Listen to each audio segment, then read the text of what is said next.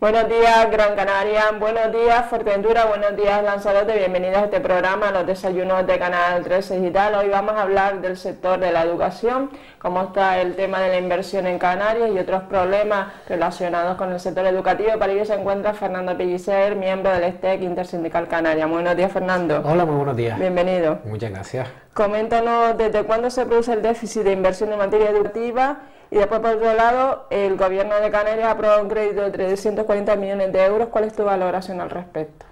Sí, em, bueno, el déficit en materia de, inversión educativa se produce desde hace ya demasiados años, podemos decir. Em, llevamos prácticamente una década en donde los presupuestos educativos no se incrementan de la forma que debieran de incrementarse y todo lo contrario, eh, por razones precisamente de de la crisis fundamentalmente, o esa es la justificación que se alega, pues se han ido reduciendo paulatinamente hasta el punto de haberse perdido cientos de plazas de, docentes en Canarias y de que evidentemente los recursos disponibles para el sistema público educativo se hayan visto mermados notablemente. Respecto a la cuestión del crédito extraordinario, del cual se derivan 50 millones de euros para educación, según ha anunciado bombo y platillo la consejera de Educación, evidentemente a nosotros nos parece positivo, nos congratulamos de que los presupuestos, en cualquier caso en materia educativa, aunque sea de una forma bastante limitada, se incrementen. Eh, en cualquier caso, ya hemos denunciado públicamente en estos últimos días que sumada a este incremento presupuestario de 50 millones a los 42 millones de euros, que también se incrementó la partida presupuestaria en educación en los propios presupuestos generales del 2017, nos situamos aún lejísimo de la inversión que según la Ley Canaria de Educación habría que eh, realizar en este año, en el año 2017, para llegar a ese 5% de, inversión del Producto Interior Bruto, que es lo que eh, plantea la Ley Canaria de Educación en el horizonte del año 2022. En definitiva, nos congratulamos, pero entendemos que es un pequeño paso que desde luego no es suficiente para satisfacer tanto las carencias del ámbito educativo como las mermas de inversión de años pasados como los objetivos que establece la ley de educación. Habría que invertir todavía muchísimo más. Otro tema importante es que, ha supuesto la aprobación de la Ley Canaria de Educación en 2014. ¿Tiene un alcance real a nivel práctico?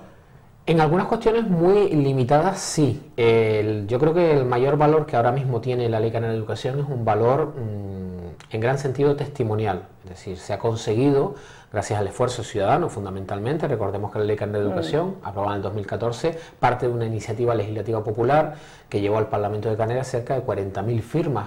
A partir de ahí el Parlamento legisló y desarrolló una ley canaria de educación que con sus luces y sus sombras, porque no es evidentemente exactamente el mismo texto, las mismas ideas que se habían planteado en, la iniciativa legislativa popular, pues cuanto menos dota de un marco jurídico eh, unificador al sistema educativo en Canarias. Yo creo que ese valor en sí mismo ya es muy importante. Otra cosa, evidentemente, es el desarrollo de la misma y el cumplimiento de la misma.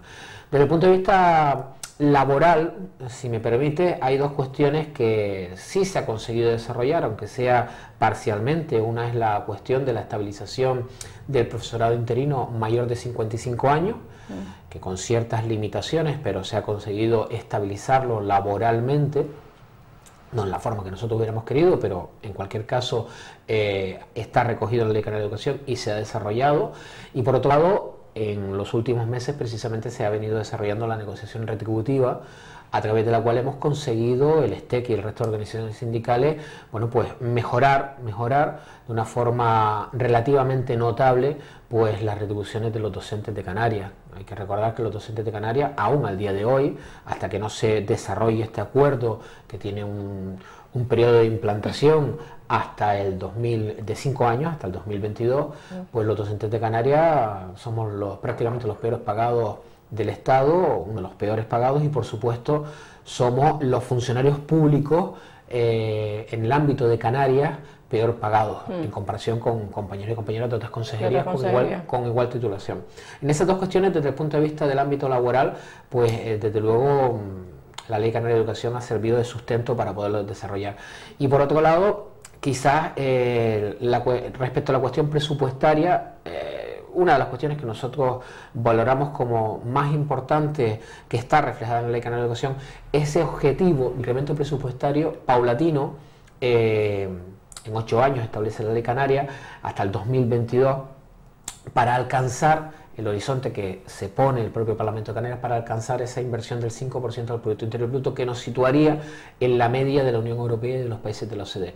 Desde luego no, no se está caminando en ese sentido, como decíamos anteriormente, pero desde luego el que esté reflejado en la ley es un elemento um, más que sea testimonial que nos permite constantemente estar recordando a los, gestores de lo público, a los políticos, a los partidos gobernantes de turno, eh, mire, ese objetivo hay que cumplirlo y no es de recibo que usted disminuya la inversión educativa no le incremente en la medida necesaria para alcanzar lo que dice la propia Ley Canaria de Educación, aprobada, como digo, en el Parlamento de Canarias en 2014. Para aquellas personas que se acaban de incorporar a los desayunos de Canal Residencial, nos encontramos con Fernando Pellicer, miembro del STEC Intersindical Canaria. Estamos hablando del sistema educativo, de los problemas que tiene la educación en Canarias. Fernando, en cuanto a la privatización de los comedores escolares de los centros públicos de Canarias, ¿a qué se ha comprometido la consejera Soledad Monzón y si hay que estar vigilantes a la elaboración del plan de gestión de, comedores?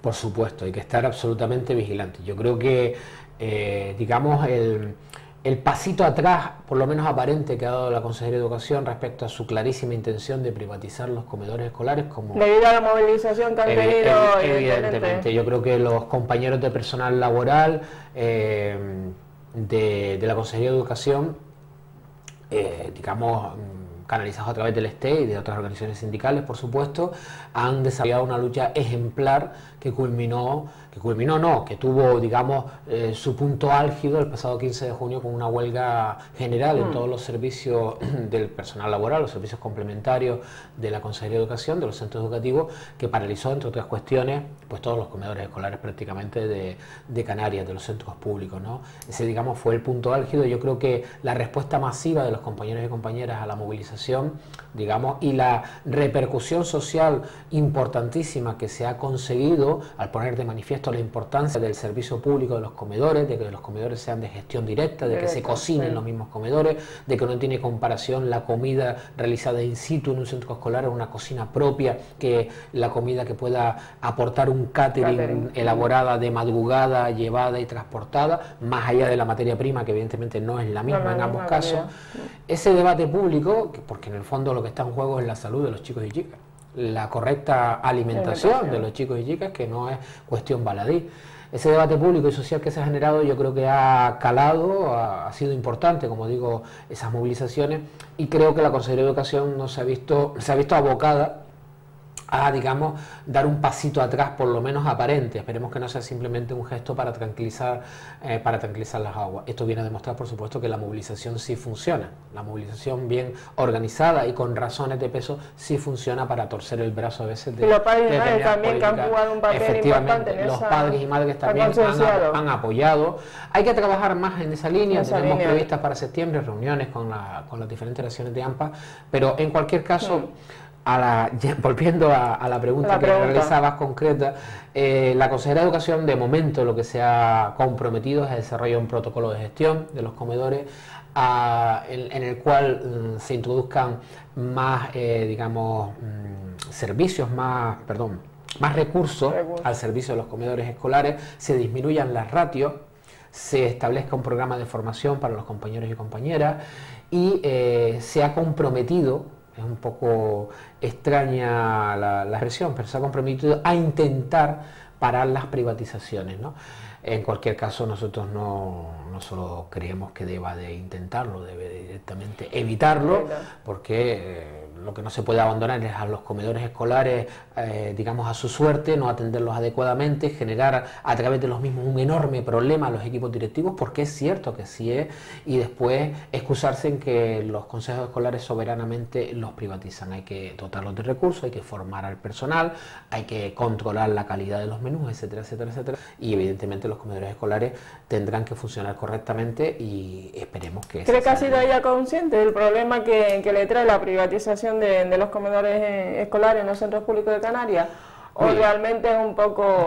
Yo, creo que es el producto de una política inconsciente de entender que lo privado funciona, mejor que lo público, que es más barato, etcétera, etcétera.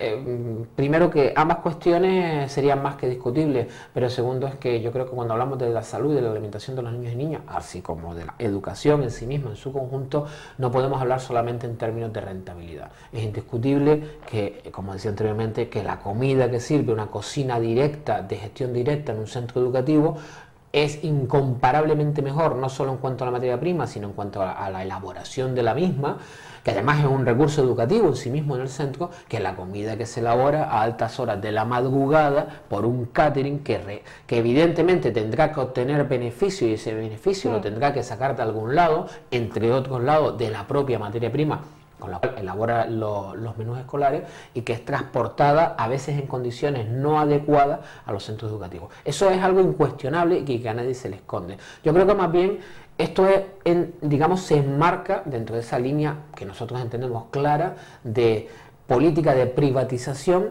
que el gobierno de Canarias, que la coalición canaria de hace muchísimos años, digamos, en la cual ha, ha estado embarcada y sigue estando embarcada. Porque la Consejería de Educación siempre ha estado en manos de coalición canaria. ¿o en, en, esencia, excepto algún periodo, general, excepto algún periodo que ha estado en manos del PSOE, e, eh, en términos generales lleva muchísimos años este ¿Y por qué se ha caracterizado la, la Consejería de Educación cuando ha estado en manos de coalición canaria? ¿De mantelamiento?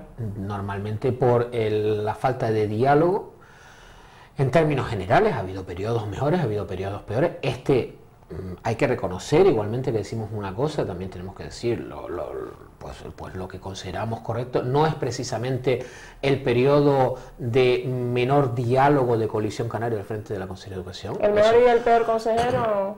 El mejor lo vamos a dejar pendiente, porque es muy comprometido. la peor, evidentemente, Milagro Luis Brito, con diferencia, pero de muchos cuerpos, además, de muchos cuerpos. Con Milagro Luis Brito, el oh. sistema educativo sufrió lo indecible. Entre otras cuestiones, se desmanteló prácticamente la formación profesional, entre otras muchas cuestiones. Pero bueno, esos son tiempos oscuros, tiempos medievales que sufrió el servicio educativo canario y que evidentemente ya afortunadamente hemos pasado página y eh, sin grandes algarabías, mm, bueno, algo se ha mejorado desde entonces, por supuesto. Otro tema importante es el establecer convenios con entidades privadas, privadas para educadores sociales o terapeutas. ¿Cómo se va a resolver esa selección de esa persona a la dedo, por un servicio como, como el que presta el Servicio Canario de, Empleo, con, con, criterios de, de, objetividad, igualdad, mérito y capacidad? Efectivamente, esa es la gran, esa es la pregunta del millón. Y es lo que le hemos cuestionado ahora mismo a la Consejo de Educación. Como sabemos, esa, esa parte del crédito extraordinario recientemente aprobado por el Parlamento, que va a ir destinado a, incrementar los presupuestos en materia educativa, una parte va a ir eh, destinada precisamente a la contratación de personal no docente, profesionales no docentes, lo cual nos parece magnífico, es una reivindicación histórica del STEC. Hace falta dotar los centros educativos no solamente de docentes, sino también de personal cualificado docente.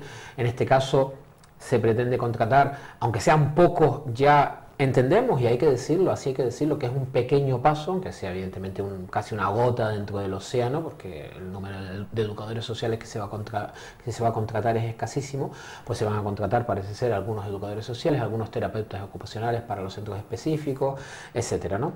Bien, esto es muy importante. Faltaría también, por supuesto, eh, más personal de interpretación del lenguaje de signos, faltarían auxiliares clínicos en determinados centros donde hay alumnado escolarizado con determinadas dolencias y que no son adecuadamente atendidos o tienen que ser atendidas eh, o medicados eh, en función del voluntarismo del profesorado, que en absoluto está obligado a ello, como es lógico y natural.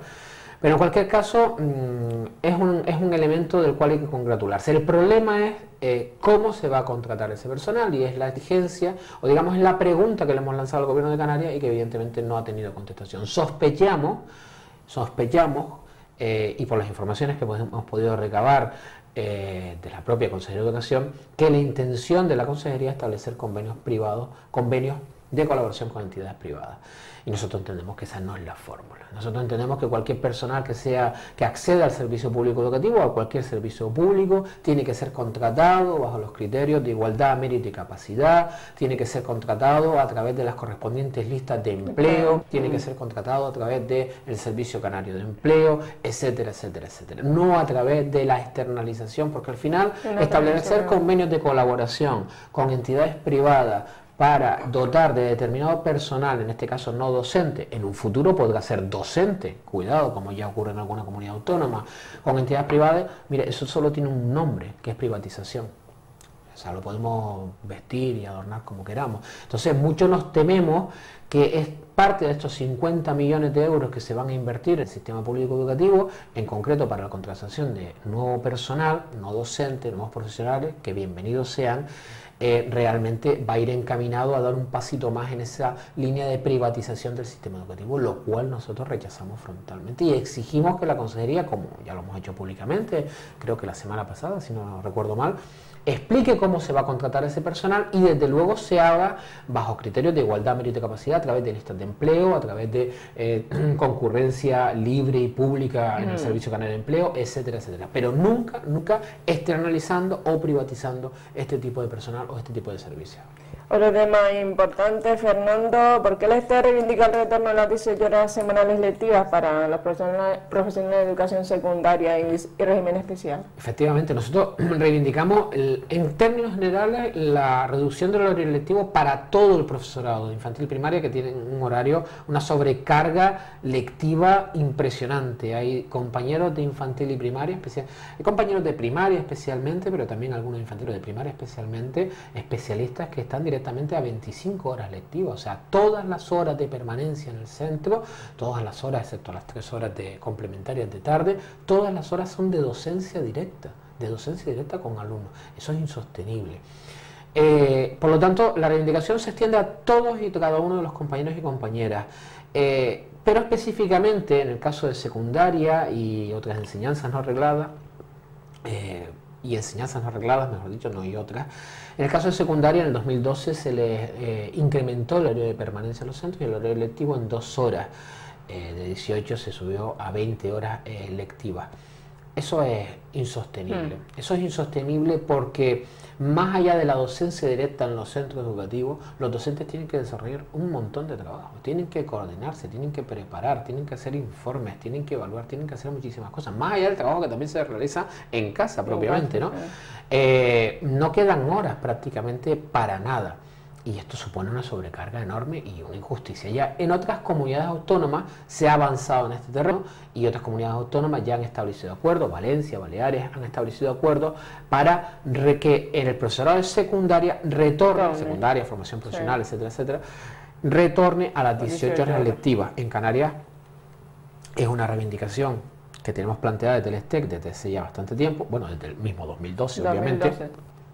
Hemos presentado ya Hace cosa dos meses presentamos la última tanda de firmas, 8.500 firmas a la Consejería de Educación reclamando. Para retomar la para, Cuanto menos para abrir negociaciones al respecto. Mm, somos conscientes que de un día para otro es difícil porque eso supone eh, inversión económica, pero por lo menos habrá que sentarse, como se hecho en otras comunidades autónomas, a hablar de la cuestión y ver en qué plazo prudencial, el más corto posible, podemos retornar a las 18 horas lectivas. Eso, eso es evidente.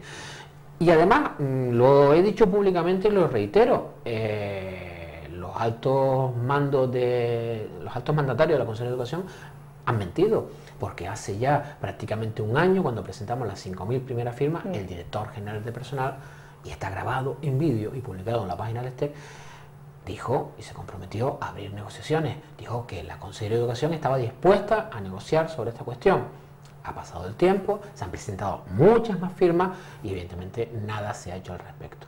Por lo tanto, esperamos que, esta cuestión se ponga sobre la mesa de, manera urgente, y si no, desde luego, creemos que hay las condiciones necesarias para llamar al profesorado a la movilización, porque es algo insostenible, es algo que ya se está recuperando en todas las comunidades autónomas, menos en Canarias. O sea, una cuestión es mm. que ya los recortes de por sí fueron injustos, otra cuestión es que cuando parece ser que estamos saliendo de esta eh, profunda crisis socioeconómica, o eso nos están haciendo ver, pues hombre, tendremos que revertir aquellos recortes que mm. han recaído sobre los trabajadores y las trabajadoras. Otro tema importante son las escuelas rurales en Gran Canaria o en toda Canaria. Ahora se está produciendo un cierre, un desmantelamiento de las mismas. ¿Y qué papel ha tenido y tiene las escuelas rurales en nuestra, nuestra comunidad autónoma? Nosotros desde este presentamos ahora en el mes de junio, a finales de junio, un estudio interesante sobre las escuelas rurales de Gran Canaria. Eh, que, que, hemos realizado para precisamente sondear la situación y que se extenderá el curso que viene al resto de islas del archipiélago donde eh, comprobábamos que desde el 2001 se han cerrado el 64% de las escuelas rurales de Gran Canaria. no solo eso, sino que actualmente las que quedan, el año pasado se cerraron eh, tres o cuatro, para el año que viene hay amenazas de cierre sobre unas cuantas, pero las que quedan, aproximadamente entre el 20 y el 25% de las escuelas rurales manifiestan, manifiestan que se sienten permanentemente amenazadas por los servicios de inspección de la Consejería de Educación respecto a la posibilidad de que sean cerradas. Es decir, esa amenaza permanente, mira, si pierdes un alumno más, la escuelita se cierra el año que viene, y sabemos perfectamente que escuela que se cierra, escuela que no se vuelve a abrir. Esto es gravísimo porque las escuelas rurales, ese modelo educativo que ayuda a fijar a la población en el medio rural, sabemos que, vamos, que la población, lo dicen todos los estudios, mm. digamos, mm, las vías fundamentales de fijación en el medio rural de la población son los servicios sanitarios y educativos, educativos y sanitarios, y los medios de comunicación, o sea, los transportes, las líneas de transporte, las vías de comunicación. Eh, por lo tanto, eh, cuando una escuela rural cierra, eh, el barrio muere. Y nosotros lo que, le, lo que le exigimos a la Consejería de Educación, que apueste por este modelo educativo, sin ambajes que está protegido por el Acuerdo Marco de Escuelas Unitarias de Canarias y que del 2009 y de reeditado años posteriores y que está protegido también por el articulado de la Ley Canaria de Educación.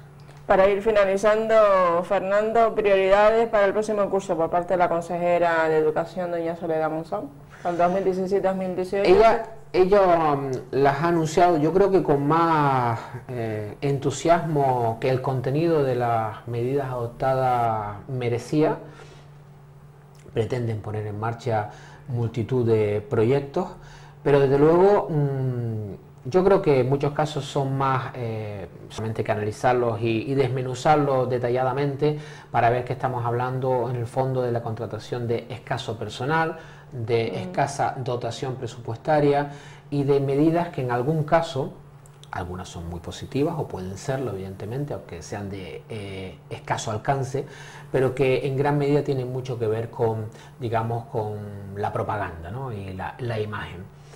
Por lo tanto, yo no sé exactamente cuáles serán las líneas de asociación finalmente de la consejera, pero desde luego sí tengo claro cuáles van a ser las del STEC. Las del STEC van a seguir el curso que viene, el siguiente, el siguiente y el siguiente, y hasta, que, y hasta que nos den la fuerza las líneas de actuación van a ser simples y sencillas, defender los intereses de los trabajadores y trabajadoras del sistema público educativo y defender a capa y espada los intereses del sistema educativo público en su conjunto, apostando por su no privatización, por su potenciación y por su defensa.